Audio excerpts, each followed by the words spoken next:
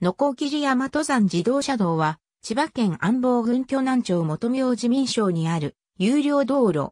愛称は、のこぎり山パノラマライン。以前は、パノラマラインだったが、他の同様の名称のものとの混同を避ける意味で、現在では頭に、のこぎり山と伏すことがある。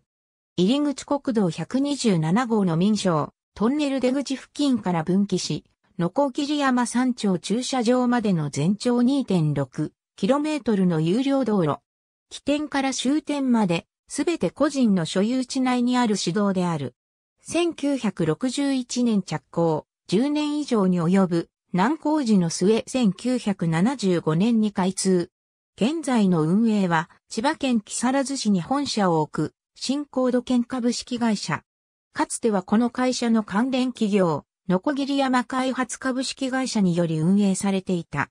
のこぎり山に登るための自動車専用道路で、頂上近くまで自動車で登ることができる。途中には、つぼりのトンネルもある。終点及び、中腹の大仏口には駐車場が完備されており、隣接する日本寺境内への配管、散策が可能。通り抜けはできない。下山は起点に戻ることになる。二輪車は以前は通ることができたが、現在は暴走行為を未然に防止する観点から通行禁止とされている。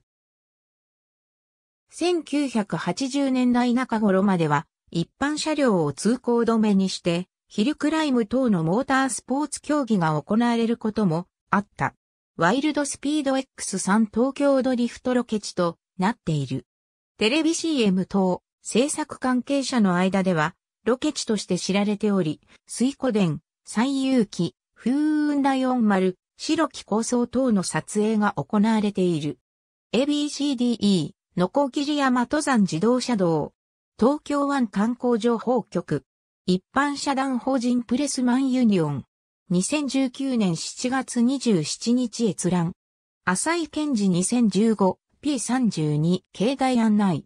のこぎり山日本でエラ。2019年7月27日閲覧。ありがとうございます。